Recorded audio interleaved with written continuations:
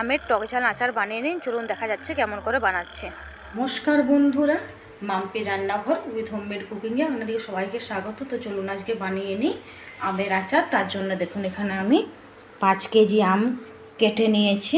এই যে আমগুলো এইভাবে কেটে নিয়েছি, খুব একটা ভালোভাবে কাটতে পারিনি। কিন্তু আমের যে বীজগুলো ছিল, সেগুলো খুব ভালোভাবে ছাড়িয়ে নিয়েছি। এখানে আমি পাঁচ ফোড়ন শুকনো লঙ্কা, সর্ষের তেল নিয়েছি গ্যাসটায়। অন করে দিয়েছি। কড়াইয়ে আমি, দেখুন কত বড় কড়াই নিয়েছি। এখানে একটু বেশি করে আমি সর্ষের তেল দিলাম। তাতে আমি পাঁচ ফোড়ন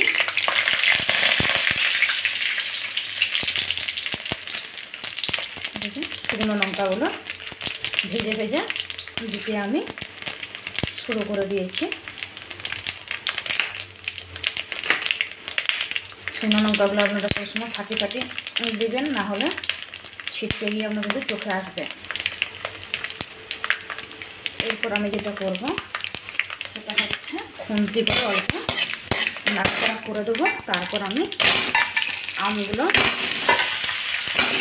একে একে এইভাবে পাঁচ কেজি আম বুঝতে পারছেন, কম না। একটু একটু করে লাগাতে হবে এই বড় বড় অনেক চলছে ডিস্টার্ব হচ্ছে তার জন্য।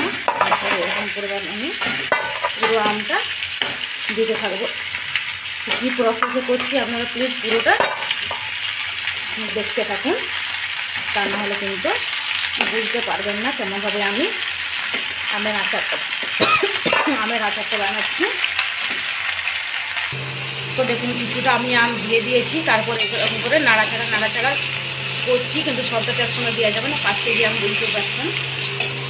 এখন গামলায় কতগুলো রয়ে গেছে, এরপর এগুলো একটু নাড়াচাড়া করার পরে এগুলো আমি দিয়ে দেবো। তো কড়াইটা দেখুন ভর্তি হয়ে যাচ্ছে, একটু অসুবিধাই হবে, কিন্তু কিছু করার নেই। এর থেকে বড় কড়াই আমার বাড়িতে আর নেই।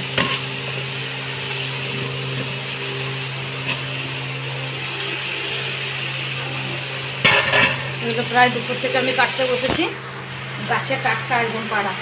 গাছের সেই পাড়া হলো তো ধরুন আমার একটা দুটো ফোনটা আছে আমি নাড়াচাড়া করতে পারব না, তার জন্য আমি এটাকে বেশি আস্তে আস্তে করে নাড়াচাড়া করে নিই। তো এভাবেই অল্প অল্প করে নাড়াচাড়া করতে হবে। কত বড় কড়াইটা আমি যদি দূর থেকে একটু দেখাই, আপনারা হয়তো ফোনে বুঝতে পারছেন না। এটা প্রায় সাত কেজি মাংস রান্না করা চলবে সেরকম কড়াই। আম বলে এটা ভর্তি হয়ে গেছে। আরও নাড়াচাড়া করব, তাতে আমি এখন যেটা দিয়ে দেবো সেটা আমি দিয়ে দেবো হচ্ছে নুন পরিমাণ মতো যেহেতু পাঁচ কেজি আম আছে, সেহেতু বড় চামচের এক চামচে দিলাম। হলুদগুলো কিন্তু বড় চামচের দেড় চামচ দিলাম। এরপর আমি যেটা করব সেটা হচ্ছে এটাকে নাড়িয়ে নেব খুব ভালোভাবে। একটু একটু করে মিশিয়ে নেব। তারপরে আমি দুধটা দেবো। তো চলুন নাড়াচাড়াটা করার পরে দেখাচ্ছি। তো এখানে আমগুলো দেখুন আমি অল্প অল্প নাড়াচাড়া করে নিয়েছি। ভালো করে করা যায়নি কিন্তু করে নিয়েছি, তবুও তেল দিয়ে ভালো করে ভেজে নিয়েছি। তো এখানে আমি ওখানে পাঁচ কেজি আম আছে, এখানে আমি দু কেজি গুঁড়ো নিয়েছি। তো দেখি কতটা কি হয়। দু কেজি গুড় আমি একটু একটু করে মিশিয়ে দিচ্ছি আমে।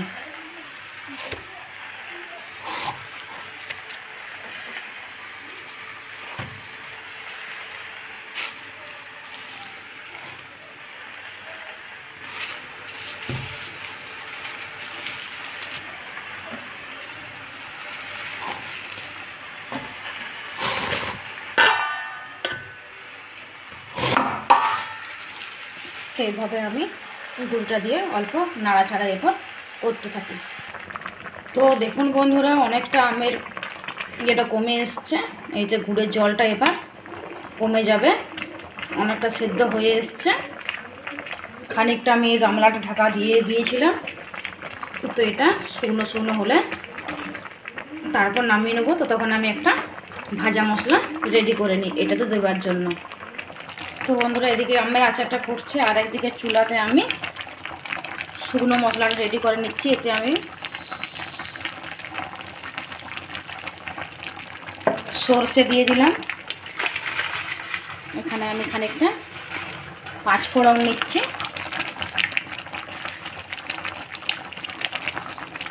পাঁচ ফোড়ন দিয়ে দিলাম।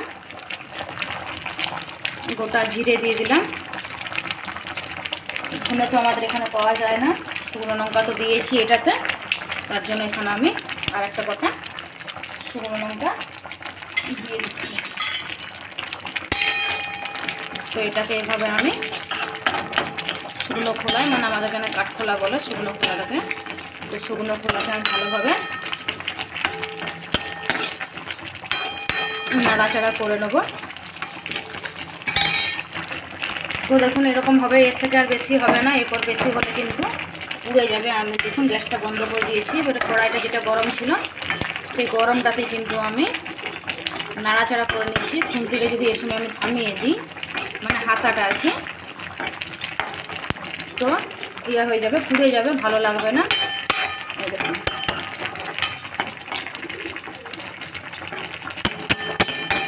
এরপর এই মশলাটা আমি আস্তে আস্তে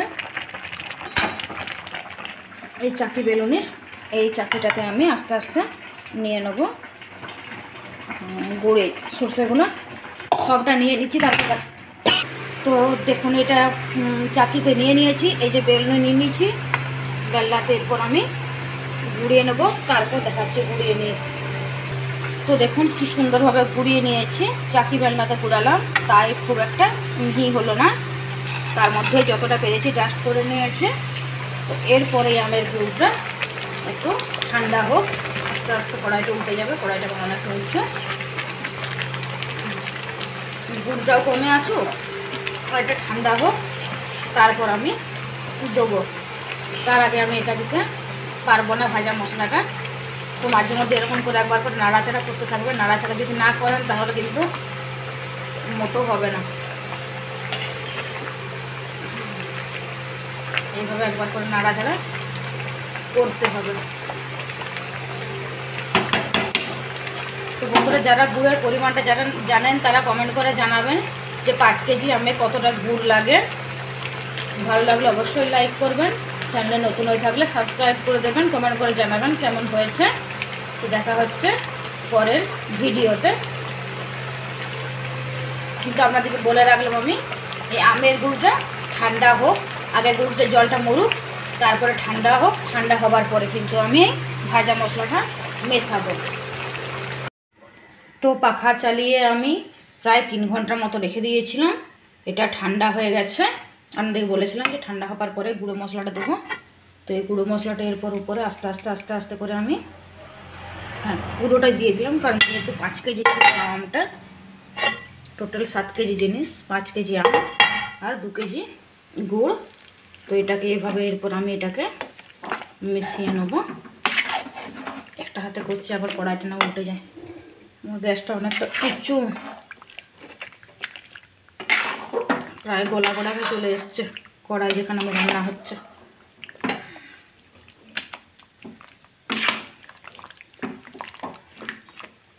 দেখুন, তো রেডি আজকে আমার আমের টক ঝাল। বা গুড় দিয়ে আচার।